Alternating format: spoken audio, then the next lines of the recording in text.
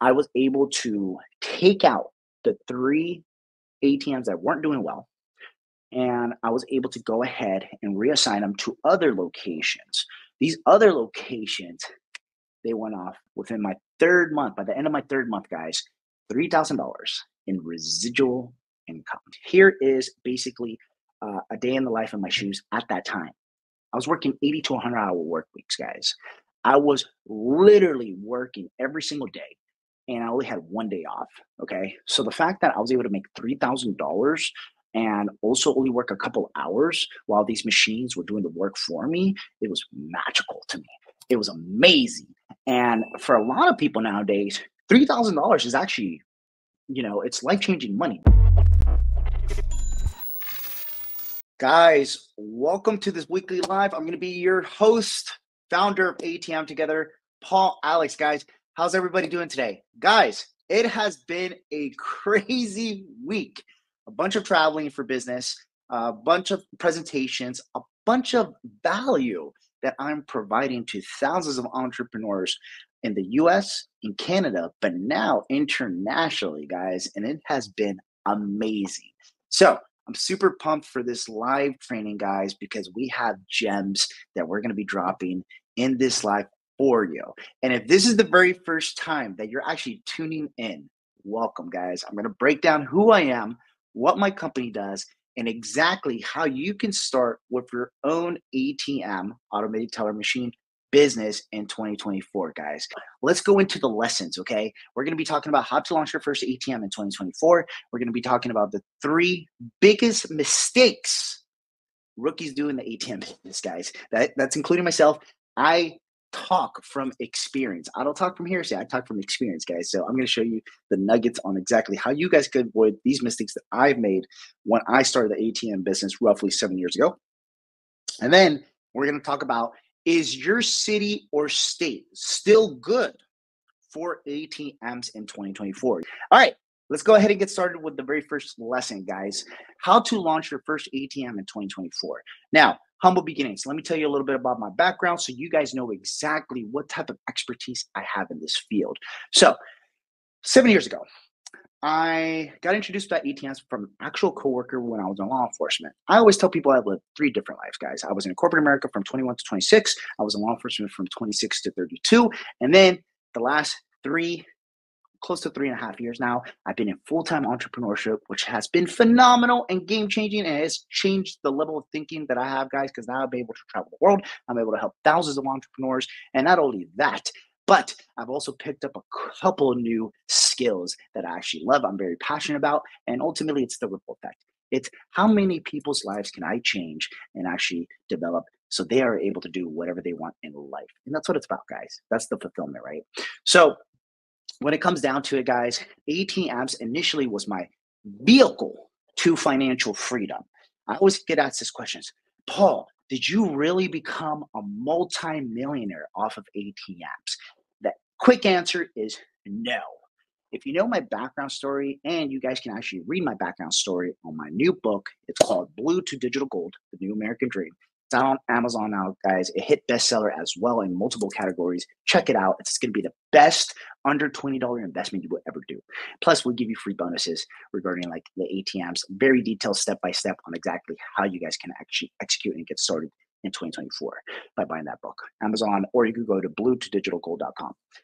All right. So to continue with the story, guys, um, coworker told me this about seven years ago. Hey, man, you can buy your own ATM. I was like, Are you talking about the machine at the gas stations? He's like, Yes. I then, guys, I've always been a straight shooter. I've always been like, All right, I'm just going to execute. You know, if I think it's a good idea, I have that gut feeling, I have that intuition, it's usually a good idea. So I went ahead and I executed. So I, I, I went to a couple of locations. Now, remember, before law enforcement, I was in corporate America. So I already knew how to present. I had soft skills. I knew how to articulate myself. So I was able to throw on my old suit, took two weeks off of work, guys, and just hit the streets for two weeks straight. Okay. And I was able to actually land six locations. So instead of buying one ATM, I bought six ATMs to start off with um, my very first two weeks. And I was just like, man, this is going to be easy. I'm going to have hundreds of ATMs within one year because I'm the greatest in sales and I could do this and I could do that. And what you don't know is what you don't know, guys. So I ultimately ended up falling flat on my face.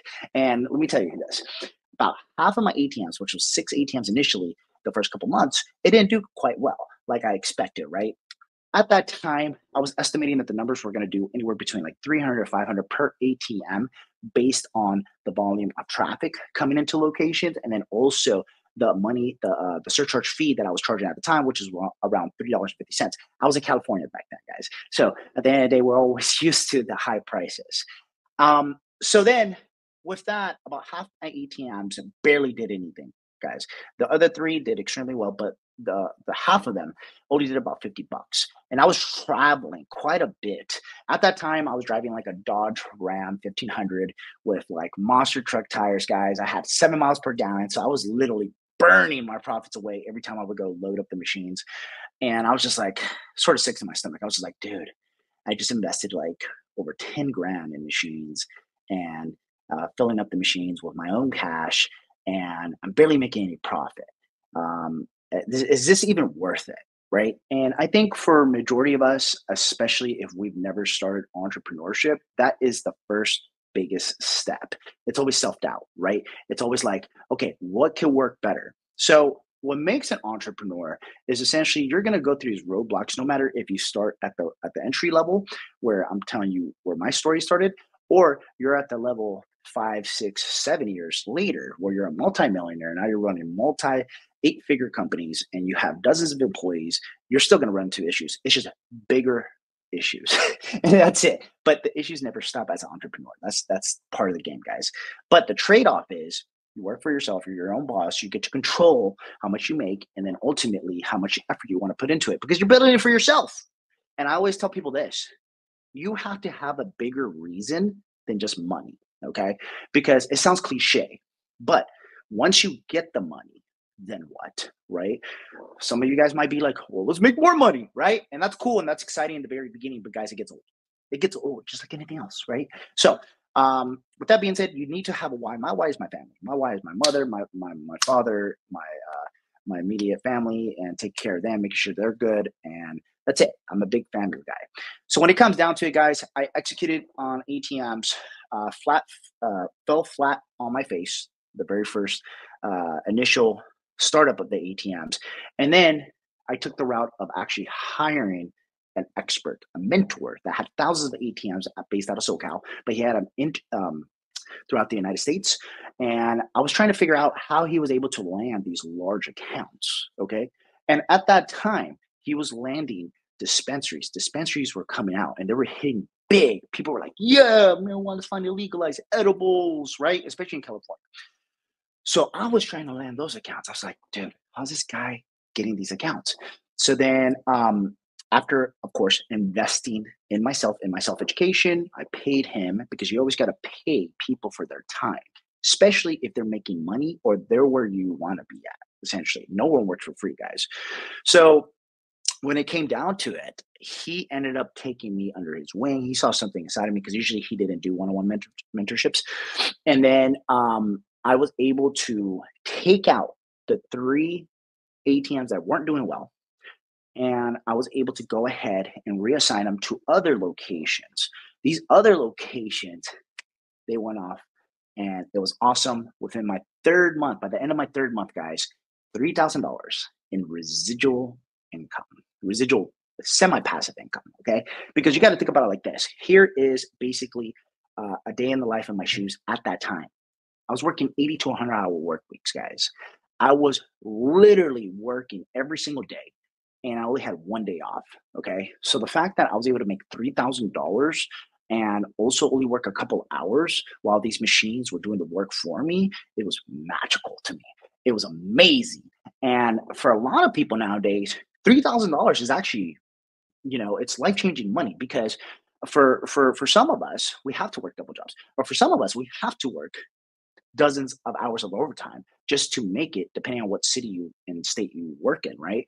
So at the end of the day, three thousand dollars can really, really buy back your time, and that's what it did. It bought back my time, but also it changed me.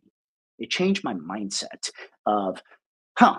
So instead of working harder, let me now work smarter and leverage this simple process, which is ATMs, which is weird because all my coworkers were like, "What type of business is this? Is this so awkward that you're you're, you're going into ATMs?" And I'm like, "Dude, like."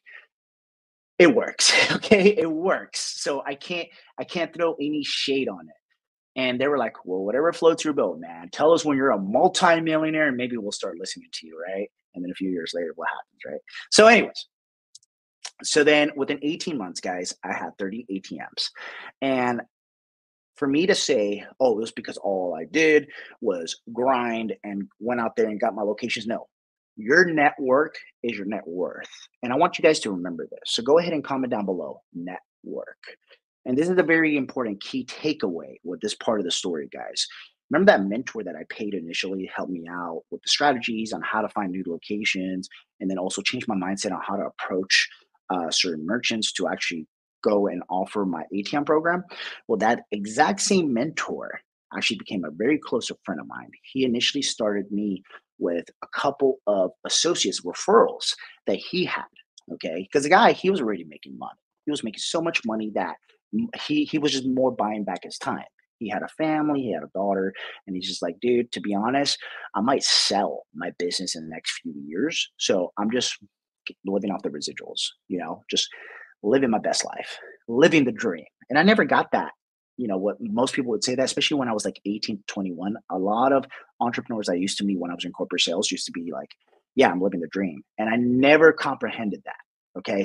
But now I do as an adult. Living the dream is essentially living in your own time, uh, by your own terms, being your own boss, controlling the finances around you and then controlling everything else. Because at the end of the day with majority of the problems that people have in life it's usually the money. It comes down to the money. And money buys options. And the more options you have the more opportunities you guys have the more rooms you're able to get in the more people you're able to meet. And guess what? You meet the right person or that right group of people that will completely change your life forever. That's why I'm telling you guys, your network is extremely important. Okay. So, with that being said, 30 ATMs within 18 months. I was making five figures. My bills at the time was around six grand. I was able to go ahead and actually reduce 80 to 100 hour work weeks to 40 hour work weeks. From there, I didn't stop, guys. I got very, very, very like you could say my mind just started changing, started developing. And I, I went from literally being a blue collar nine to fiver, right? Right, like work for somebody, have an established paycheck, um, you know, work as much as I can, work as hard as I can, you know, save, save, save, save, pay off my house, do all this stuff, right? And that's great. That's essentially what my parents taught me. Um, but after that whole venture with the, the side hustle and the ATMs happened, something inside me changed me. And something changed. And the way I was thinking was just different. And I was just like, well, if I could do this with ATMs, what is stopping me from doing anything else in life? Right. Um, and it was it was the it was the one of the true signs of success. Even though I've been successful in almost every career that I've done, but this was something for me. And that's what I loved. It was for me. It was mine right? So then I went ahead and I actually jumped on Facebook after not being on social media for 80 years, guys. Believe that or not, right? I actually uh, stopped using social media when I started applying for the police at that time. And I decided to jump back on for research. That's it. Um, I, I don't like social media for personal use. I don't use it whatsoever. I just use it for business. And nowadays i use it to communicate with you guys. I communicate with my mentees and sometimes you know i'll have family members reach out but majority of the time it's usually business. So with that being said um, i was able to go ahead and actually um, learn digital marketing guys. And you guys might be like digital marketing? That sounds too advanced. Guys i'm telling you something right now if I can learn it, you can learn it too. So uh, one of the first books that I bought it was called Digital Millionaire. Okay, and it and it also sounds uh, it feels so surreal that three years later, after I read that book, I launched my own book. Right. Um, it, essentially, uh, it's, it's just very similar concept of the book, but it's just my own life, my own experiences, what I went through. And it has already helped hundreds of people in just the past week guys. I get dms every single day about re- people sending me pictures of their books saying thank you for writing this. It will truly change the way you think about life and then about your circumstances and and just everything that you do after you read it. Whether you don't want to be an entrepreneur maybe if you want to give it to someone like let's say your children your spouse just to motivate them yeah I would do that. So books can really change your life. With that being said, so now I run a few multi-million dollar companies through digital marketing. Not only that, I've gotten into merchant services as well, credit card terminals. Um, I'm launching a digital offer next month as well, um, where we're going to be helping the masses. We're going to be helping nine to fivers transition to the online space. And it's going to be the very, very first program that actually the avatar, the client, is nine to fivers, is aspiring entrepreneurs, not digital marketers, but aspiring entrepreneurs. And it's going to change the game. Okay. So, very exciting stuff, guys. In a, in, a, in, a, in a short summary, that's my story within 20 minutes. Okay. Uh, uh, so, let's get into the lessons. Now, number one, when you want to start up with your ATM business, guys, the first thing is the LLC. Okay. You're going to go into the LLC. The fastest way to get your LLC is through incfile.com. Now, once you go ahead and do that, you actually want to get the the actual most cost effective package on incfile.com. You don't need all like the gold package. You don't need the most expensive stuff. No, just the basics. You can get the EIN at irs.gov. If you guys are looking by a step by step actual modular or video my COO, Ganem Yonas, actually recorded one. He has it in the guides section of this group. Now, if you want assistance with that, one of our teammates can actually help you out with that, guys. Go ahead and comment LLC, and we can have our teammates actually tag you on that video so you guys are able to follow step by step the exact steps that you guys need to set up your LLC. Okay, absolutely free, free value for you guys. Now, Second thing is setting up your bank account. I'm actually going to be talking about this in the second lesson, which in, which is the three biggest mistakes for ATM rookies. So we'll dive into that in the second lesson. Okay. So mind you, you need a business checking account. You can't get a personal checking account. You need a business checking account. The third thing is finding an ATM processing company and also ATM supplier. I'm also going to be talking about this in lesson two. You have to be very careful. Get three bids, no matter what company you're thinking of going with, or if you've already thought of what company you're going to go with, make sure they're going to give you exactly what you need. For different people, there's different programs, there's different services. I always tell you that. We're not the right fit for everybody. We're usually our avatar, our client is the client that probably only has a few hours a day to work on their business or they don't have any time at all. That's why we're typically a little bit more pricier than the rest. But the reason why is because we offer the most value. Okay, we're customer service oriented. We have our guarantees, and we actually get people results. We have over 3,000 clients in the past three years for a reason, guys. You know, if we were a smaller, let's say ISO independent sales organization or smaller company where it was only like myself and one other person, we would probably only be able to manage five people. At the end of the day, I'm not a big fan of over leveraging what I have as far as um, logistics and fulfillment because I've gone through horror stories in the very beginning of my entrepreneurship career, and I understand what it takes to actually fulfill what you promise to people, and we're good on that. That's why you'll see here, you'll see us for the long term. Okay, we do things the right way. Now, with that being said, I'll be talking more about ATM processing and then the actual uh, ATM supplier in the second lesson. From there, guys, the biggest needle mover in this business is location, location, location. Okay. So when you are thinking about this business, you got to understand this. In order to find a decent location, it's going to take you a minimum of 100 hours. So if you don't have 100 hours to invest into this business, because yes, you have to invest your time and funds into starting a business, any business. But if you're looking for services where they're actually going to find a location for you, make it easier for you, knock out a lot of the work, there is services like that, but you get what you pay for at the end of the day. You guys can pay for services anywhere where they can find you a location, but guess what? Once they find you the location they give you the information, and they'll probably more than likely ghost you. And to me, that's a no no. You want to stay in communication and you want to be in business with the person that's providing you the service for the long term. Okay. That way they're able to cover you in case the location doesn't do well or uh, for some strange reason you have to relocate the machine. Remember, these ATMs, they're considered floating assets, guys. So at the end of the day, if it doesn't do well in one location, just move it to another location. It's part of business. Okay. Business doesn't always go 100% through one solid line. If it did, everybody and their mom would be entrepreneurs. But unfortunately, it doesn't, and only the strong survive. But with that being said, you're able to build a successful business, guys, and take it from me. I've have managed dozens and dozens of people, runs uh, run uh, quite a bit of companies, and have the life experience to talk about this. Where I can tell you, building the right team with the right people is key. Having the right tribe. Okay, don't think about investing it into services and a machine. No, think about it and investing it into a good, solid team. Okay, that's what you want to invest it into. Now, with that being said, uh, once you have your LLC, your business bank account, your ATM, your ATM processing, and then you have your location, you are already 90% there. Now, this is where really like the mentorship comes into play. Why? Because the mentor, a mentorship or somebody who can guide you or help shadow you through this process is going to show you the, the tech skills. They're going to show you how to uh, fix a malfunction with the machine, even though these machines don't really malfunction that often. But when they do, it's sort of tricky, right? Because what you don't know is what you don't know. And then also scaling your business. At the end of the day, no one is going to get rich off of one machine, guys. No.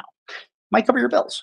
It might cover a bill, a couple bills, right? But it will not make you absolutely rich. In order for you to get rich, you need dozens upon dozens of machines. Okay and I'm talking about more than 30 machines.